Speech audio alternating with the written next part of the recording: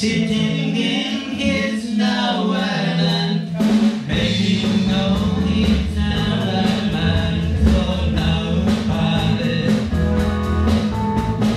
That's